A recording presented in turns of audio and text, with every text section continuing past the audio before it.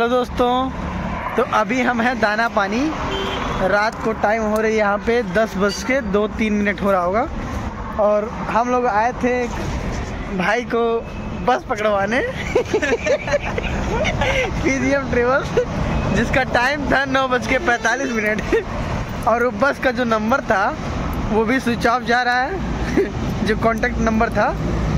और अभी तक कोई किसी से कांटेक्ट नहीं हो पाया, ना वेबसाइट से, ना कहीं से। और मुश्किल है कि आज जा पाएँगे दिल्ली। जाएँगे दे सकते हैं।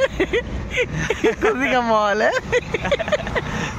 ग्यारह सौ कुछ रुपए जा चुके हैं। सौ सोलह सौ। सॉरी सोलह सौ रुपए।